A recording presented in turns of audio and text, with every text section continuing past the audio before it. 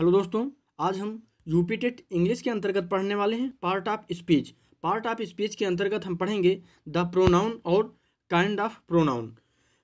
सर्वनाम और सर्वनाम के प्रकार के बारे में हम जानेंगे। ये वीडियो प्राइमरी और जूनियर टेट दोनों के लिए महत्वपूर्ण है। ये चौथी क्लास है इंग्लिश यूपी टेट की। और अगर आपने पिछली क्लासें नहीं देखी हैं तो डिस्क्रिप्शन में आपको लिंक मिल जाएगा। आप ज़रूर देखिएगा। या फिर आप चाहें तो प्लेलिस्ट चेक कर सकते हैं। तो चलिए वीडियो को स्टार्ट करते हैं। अगर आप चैनल पर नए हैं तो सब्सक्राइब ज़रूर करिएगा और शेयर करना मत भूलिए। चलिए स्टार्ट करते हैं। प्रोनाउन क्या प्रोनाउन सर्वनाम बोलते हैं इसको हिंदी में।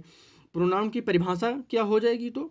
A pronoun is a word which is use in place of a noun मतलब क्या हो जाएगा? अगर हिंदी में बात करें तो संज्ञा के स्थान पर प्रयुक्त होने वाले शब्दों को सर्वनाम कहते हैं। जैसे हम उदाहरण की बात करें ही इज़ वेरी जेंटल और he it belongs to Sohan. तो क्या हो जाएगा? अगर हम इन दोनों वाक्यों में बात करें प्रोनाउन क्या है? तो प्रोनाउन क्या हो जाएगा? ही और इट ही और इट जो है, ये प्रोनाउन हो जाएगा। आगे हम देख लेते हैं प्रोनाउन के प्रकार।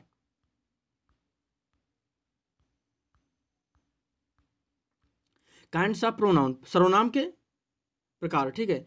पर्सनल प्रोनाउन पहला हो जाएगा पर्सनल प्रोनाउन व्यक्तिवाचक सर्वनाम। पर्सनल प्रोनाउन से किसी पुरुष, व्यक्ति या वस्तु का बोध होता है। जैसे उदाहरण की उदाहरण की बात करें, उदाहरण को देख लेते हैं। He is going to Delhi she is singing a song इन दोनों वाक्यों में ही और सी ये जो दो वर्ड हैं, ये हो जाएँगे पर्सनल प्रोनाउन पर्सनल प्रोनाउन में ही और सी आ जाएँगे।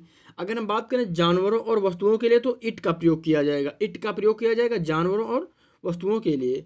आगे हम देखते हैं, हमारा आगे हो जाएगा हमारा kind of personal pronoun personal pronoun के प्रकार।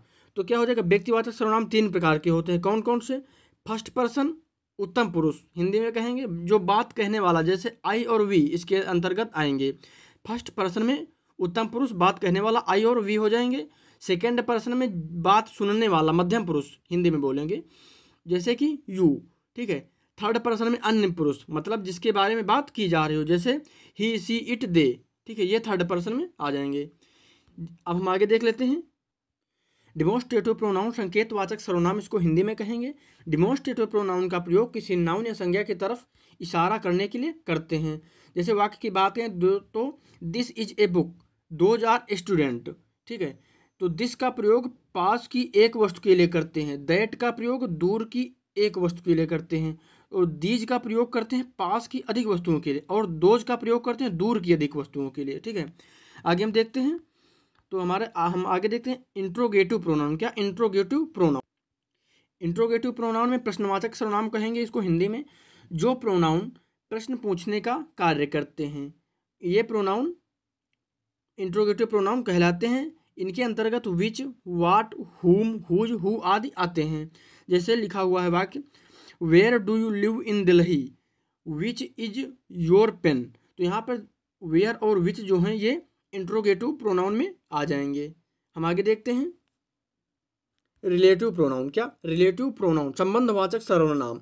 रिलेटिव प्रोनाउन का प्रयोग दो या दो से अधिक वाक्यों को जोड़ने के लिए किया जाता है। इसके अंतर्गत हुज हुम हु हुज हुम विच दैट एज शब्द आते हैं। जैसे वाक्य की बात करें तो I have lost the cycle which you gave me they release the parrot which at once flew up तो यहाँ पर विच और दोनों जगह पर जो विच आया है, ये संबंधवाचक सर्वनाम हो जाएगा रिलेटिव प्रोनाउन ठीक है?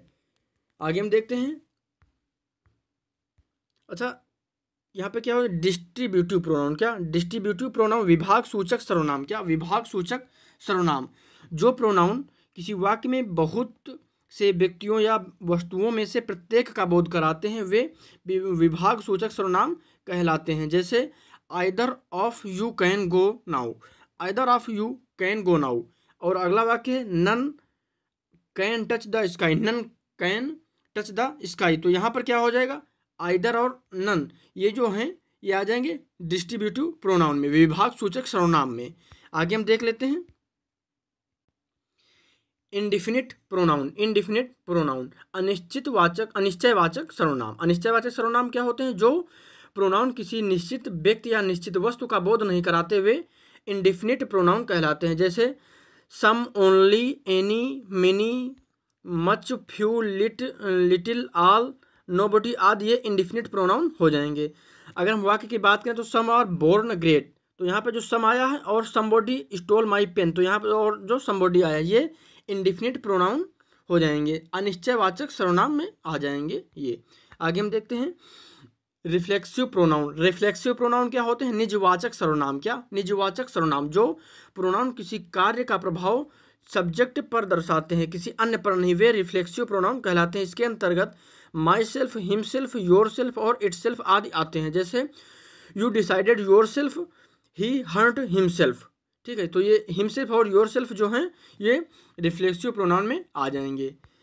कोई भी वाक्य आप देखकर बता सकते हैं, वहाँ पर कौन सा प्रोनाउन यूज़ हुआ है? वीडियो को आप देखते रहिए लास्ट तक। तो आगे देखते हैं इम्फेंटिक प्रोनाउन तो दृढ़ता सूचक सर्वनाम। इम्फेटिक प्रोनाउन कर्ता पर दबाव डालते हैं। ये प्रोनाउन सदैव नॉमिनेटिव केस में होते हैं। इन प्रोनाउन में सेल्फ या स्लेव, स्लेव्स लगाते हैं, परंतु ये प्रायः क्रिया से पहले आते हैं। क्रिया से पहले आएँगे दृढ़ता सूचक सर्वनाम, emphatic pronoun. He himself filled the form तो ये जो क्रिया है फ़ील्ड इसके पहले आया है himself you yourself should go there. तो यहाँ पर भी देखिए, शुड के पहले आया है योर सेल्फ। तो ये हो जाएँगे इन्फेंटिक दृढ़ता सूचक सर्वनाम। ठीक है, आगे हम देख लेते हैं। रेसिप्रोकल प्रोनाउन क्या रेसिप्रोकल प्रोनाउन जो हैं, ये प्रोनाउन परस्पर समान व्यवहार प्रकट करते हैं तथा दो या जो दो भिन्न भिन्न प्रोनाउन से मिलकर बने होते हैं। वे रेसिप्रोकल प्रोनाउन कहलाते हैं, जिसके अंतर्गत ईच अदर वन एनोदर शब्द आते हैं। अगर हम वाक्य की बात करें तो जैसे हो जाएगा उदाहरण में, Mohan and Sohan loved each other तो यहाँ पर क्या हुआ? Each other the boys helped some another तो यहाँ पर जो ईच अदर और वन एनोदर हैं, ये परस्पर वाचक सर्वनाम रेसिप्रोकल प्रोनाउन में आ जाएँगे। आगे हम देखते हैं एक्सक्लामेटरी प्रोनाउन विस्मय बोधक सर्वनाम। कभी कभी वाक्य का प्रयोग प्रश्न पूछने के स्थान पर विस्मय अर्थात आश्चर्य प्रकट करने के लिए किया जाता है। उस समय यह एक्सक्लामेटरी प्रोनाउन कहलाता है, जैसे वाट, ही इज़ ए क्रिमिनल। तो यहाँ पे क्या है, आप कोई भी जो विस्मय बोधक चिन्ह लगा हुआ है, इसके हिसाब से देखकर बता सकते हैं कि ये एक्सक्लामेटरी प्रोनाउन हो जाएगा। वाट, क्या पूछ रहा what, he is a criminal. What, he did not go there. तो यहाँ पर वाट देखकर आप अंदाज़ा लगा सकते हैं या फिर आप श्योरली बता सकते हैं कि यहाँ पर इस्लामेटिक प्रोनाउन का उपयोग हुआ है। यहाँ पर क्या हो जाएगा वाट और वाट तो ये इस्लामेटिक प्रोनाउन हो जाएगा। हम आगे देखते हैं। अच्छा यहाँ पे देख लेते हैं रिफ्लेक्सिव और इम्फेटिक प्रोनाउन तो यहाँ पे क्या हो जाएगा रिफ्लेक्सिव और इम्फेटिक प्रोनाउन तो यहाँ पे क्या है रिफ्लेक्सिव तो यहाँ पे आप देख सकते हैं, इन दोनों वाक्यों में यहाँ पे भी माई सेल्फ का प्रयोग माई सेल्फ और हिम सेल्फ हुआ है, और यहाँ पे भी हिम सेल्फ और माई योर सेल्फ इत्यादि का प्रयोग हुआ है। इनमें आप चीज़, एक चीज़ गौर कर सकते हैं, ये क्रिया के पहले जो आते हैं, जो क्रिया दी हुई है, इसके पहले जो आएँगे, ये दृढ़ता सूचक सर्वनाम में आ जाएँगे। और जो ये हैं, ये कर्ता के बाद आएँगे कर्ता के, जो क्रिया क्रिया के बाद आएँगे, ठीक है, यहाँ पे आप ध्यान दीजिएगा, क्रिया के पहले आता है तो वो हो जाएगा, वो हो जाएगा इम्फेटिक प्रोनाउन और रिफ्लेक्सिव में कर, जो क्रिया क्रिया के बाद आएगा योर सेल्फ जो भी आता है योर सेल्फ वगैरह। आप यहाँ पर आसानी से समझ सकते हैं। यहाँ पर जो क्रिया है डिसाइडेड डिसाइडेड के बाद आया है योर सेल्फ ठीक है? और यहाँ पर जो क्रिया है फ़ील्ड फ़ील्ड के पहले आया है हिम सेल्फ या फिर योर सेल्फ इस चीज़ से आप इम्फेटिक और रिफ्लेक्सिव निजवाचक सर्वनाम और दृढ़ता सूचक सर्वनाम में अंतर कर सकते हैं। यहाँ पे हम देख लेते हैं, अंतर कुछ दिए हुए हैं रिफ्लेक्सिव और इम्फेटिक प्रोनाउन में अंतर। रिफ्लेक्सिव प्रोनाउन में सेल्फ का अर्थ अपने आप होता है, लेकिन इम्फेटिक प्रोनाउन में सेल्फ का अर्थ स्वयं होता है। दूसरा अंतर क्या हो जाएगा? रिफ्लेक्सिव प्रोनाउन जो क्रिया के बाद आता है, जबकि इम्फेटिक प्रोनाउन क्रिया के पहले तथा संबंधित प्रोनाउन के तुरंत बाद आता है। ठीक है, ये अंतर आप देख समझ सकते हैं। रिफ्लेक्सिव प्रोनाउन का केस सदैव ऑब्जेक्टिव केस होता है, जबकि इम्फेटिव प्रोनाउन का केस नॉमिनेटिव केस में होता है। यहाँ पर हम एक वाक्य देख लेते हैं। Filled the blank with suitable pronoun my son and my daughter my daughter are very fond of तो यहाँ पर कौन सा वाक्य भरा जाएगा? कौन सा शब्द भरा जाएगा? Herself each other themself themselves या फिर हिम सेल्फ उत्तर आपको बताना है। तो उत्तर क्या हो जाएगा इसका? उत्तर हो जाएगा ईच अदर क्या ईच अदर जो है, यहाँ पर सही उत्तर हो जाएगा। तो वीडियो कैसा लगा आपको कमेंट करिएगा और अपने दोस्तों के साथ शेयर करना मत भूलिएगा। धन्यवाद।